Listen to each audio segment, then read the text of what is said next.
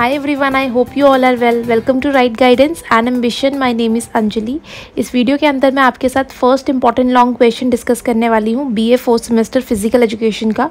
इससे पहले मैं आपके साथ सिलेबस एग्ज़ाम पैटर्न डिस्कस कर चुकी हूँ। जिन बच्चों ने अभी तक वो वीडियो नहीं देखी है उनके लिए लिंक मैंने डिस्क्रिप्शन में दे दिया है। इट इज़ वेरी इंपॉर्टेंट कि मैं जो भी वीडियो सब्जेक्ट वाइज अपलोड करूँगी आप लाइन वाइज देखना अदरवाइज़ आपको एग्ज़ाम में कन्फ्यूज़न हो सकती है। फ़िज़िकल एजुकेशन में टोटल मैंने आपको ट्वेल्व इंपॉर्टेंट लॉन्ग क्वेश्चन बताए थे। वन बाय वन मैं आपके साथ सारे क्वेश्चन डिस्कस करूँगी विद नोट्स सो इस वीडियो के अंदर सबसे पहले हम लोग डिस्कस करते हैं question number one write the meaning of digestion system and also explain mechanism of digestive system so meaning of digestion system digestive system plays a very important role in the break down of food कि जो food होता है, उसको break down करने में हमारा digestive system जो होता है, वो बहुत हेल्पफुल है। जब फ़ूड ब्रेक डाउन हो जाता है बॉडी के अंदर तो वो हमें एनर्जी प्रोवाइड करता है। जितने भी ऑर्गन्स हैं बॉडी के, उन सबको एनर्जी चाहिए अपना वर्क करने के लिए। As food contain variety of nutrients which help in body building and repair of tissues food के अंदर बहुत सारे न्यूट्रिएंट्स प्रेजेंट होते हैं, जैसे कि carbohydrate fat vitamin protein mineral ये सारे न्यूट्रिएंट्स जो होते हैं बॉडी को बनाने में और जो टिश्यूज़ हैं, उसको रिपेयर करने में मदद करते हैं। Food we eat is use to provide nourishment and energy जो भी खाना हम खाते हैं, उससे हमारी बॉडी को नरिशमेंट मिलती है और एनर्जी मिलती है। It is the digestive system where vitamin nutrient minerals are observed हमारी बॉडी का ही डिजेस्टिव सिस्टम है, जो न्यूट्रिएंट्स को एब्जॉर्व करके रखता है बॉडी में बचा के रखता है। जब भी कभी नीड होगी, फिर धीरे धीरे करके उन न्यूट्रिएंट्स को यूटिलाइज करता है बॉडी के अंदर। Now functions processes mechanism of digestive system तीनों वर्ड्स का मतलब एक ही है, अगर एग्ज़ाम में कुछ भी आएगा, आपने सेम पॉइंट्स ही लिखने हैं। फ़र्स्ट है ingestion this is the process of taking food that is eating and drinking ingestion का मतलब होता है फ़ूड को लेना बॉडी के अंदर एंटर करवाना, चाहे ईटिंग या फिर ड्रिंकिंग के through second propulsion this activity is known as movement of food propulsion उस एक्टिविटी को कहेंगे जिसमें फ़ूड जो है हमारी बॉडी के अंदर मूव करेगा। फ़र्स्ट माउथ से वो जाएगा फ़ूड पाइप में फ़ूड पाइप से स्टमक ऐसे करके जब वो फ़ूड मूव होता है बॉडी के अंदर, उसको हम बोलेंगे प्रोपल्शन थर्ड पॉइंट है secretion of enzymes various digestive enzymes chemically break down the food body के अंदर जो होते हैं डिफरेंट ऑर्गन्स एंजाइम्स को रिलीज़ करते हैं ताकि वो फ़ूड पे वर्क करें, उसको ब्रेक डाउन करें और उसको डाइजेस्ट करने में मदद करें।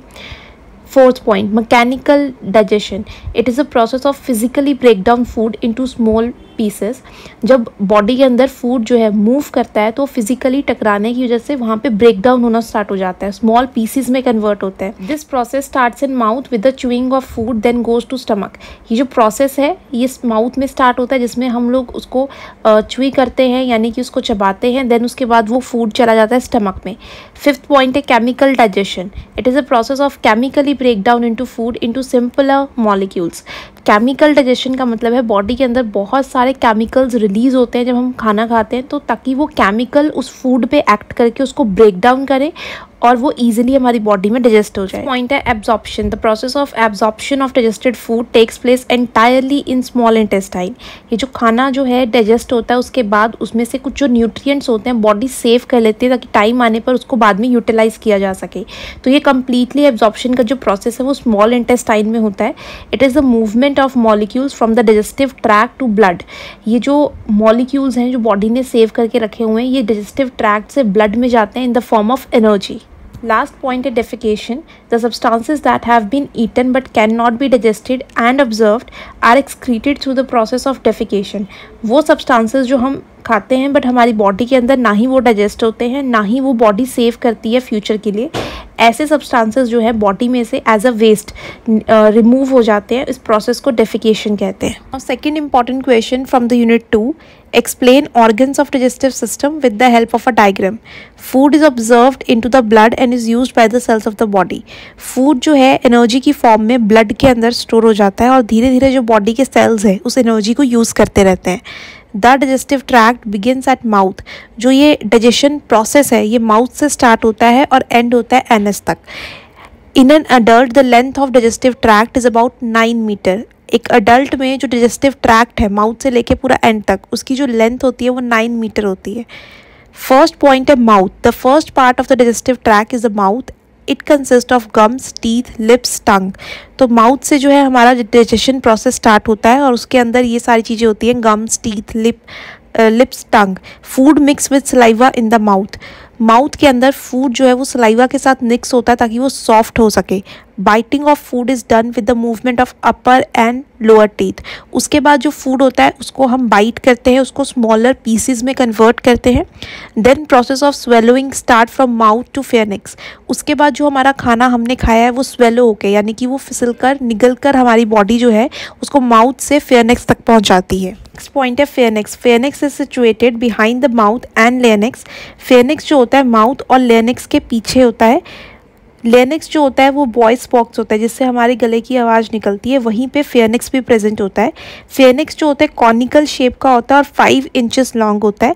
Epiglottis is attach at the top of the thyroid cartilage epiglottis यानी एक फ्लैट कवर लाइक एक कवरिंग होती है जो फेयरनेक्स के ऊपर होती है। It is a flap which encloses the larynx during swallowing जब भी हम खाना खाते हैं तो गलती से खाना जो है हमारी विंड पाइप में ना चला जाए तो इसीलिए वहाँ पर एक कवरिंग लाइक स्ट्रक्चर प्रेजेंट होता है।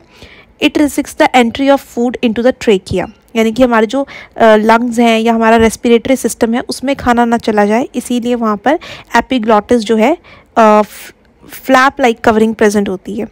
थर्ड पॉइंट है ईसोफेगस ईसोफेगस को हम फ़ूड पाइप भी कह सकते हैं। ये nine to ten inches long होती है और ये फेनिक्स और स्टमक दोनों को आपस में कनेक्ट करती है। Fourth point stomach oesophagus pushes down the food into the stomach जो हमारी फ़ूड पाइप है, वो हमारे खाने को पुश करती है स्टमक तक। Food stage in the stomach for about three to four hours तो खाना जो है हमारे स्टमक में तीन से चार घंटे जो है खाने के बाद रहता है।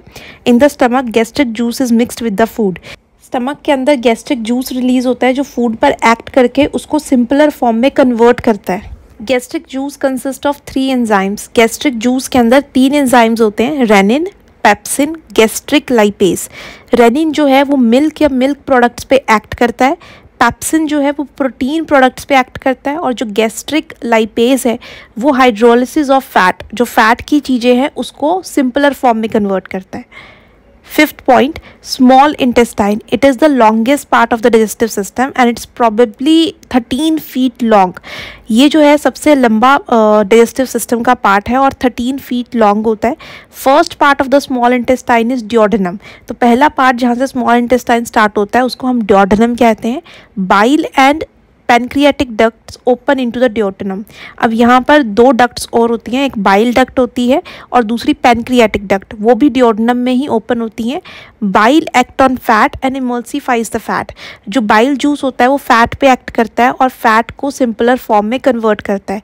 अब इसी तरीके से जो पेनक्रियाटिक एंजाइम्स होते हैं, वो भी तीन तरीके के होते हैं। ट्रिप्सिन अमाइलेस लाइपेस तो ट्रिप्सिन जो होता है, वो प्रोटीन को अमीनो एसिड में कन्वर्ट करता है अमाइलेज जो है, वो शुगर या फिर स्टार्च की जो चीज़ें हमने खाई हैं, उसको माल्टोज में चेंज करता है। लाइपेज जो है फैट को फैटी एसिड में कन्वर्ट करता है। कन्वर्ट करके ये सारी चीज़ें जो होती हैं सिंपलर फॉर्म में हो जाती हैं और बॉडी जो है, इसको ईजिली डाइजेस्ट कर पाती है फिर। सिक्स पॉइंट है absorption of food the entire absorption of food takes place in the small intestine small intestine में ही हमारी बॉडी के जो न्यूट्रिएंट्स होते हैं, जो फ्यूचर के लिए सेव करके रखते हैं एनर्जी वो स्मॉल इंटेस्टाइन में अब्जॉर्ब होते हैं. Lining of small intestine is folded into millions of finger like projections called villi तो फिंगर लाइक प्रोजेक्शंस होते हैं स्मॉल इंटेस्टाइन में, जो एरिया इंक्रीज कर देते हैं ताकि जो न्यूट्रिएंट्स है, जो एनर्जी है, वो ज़्यादा स्टोर हो पाए। तो उसको हम विलाई कहते हैं उस स्ट्रक्चर को।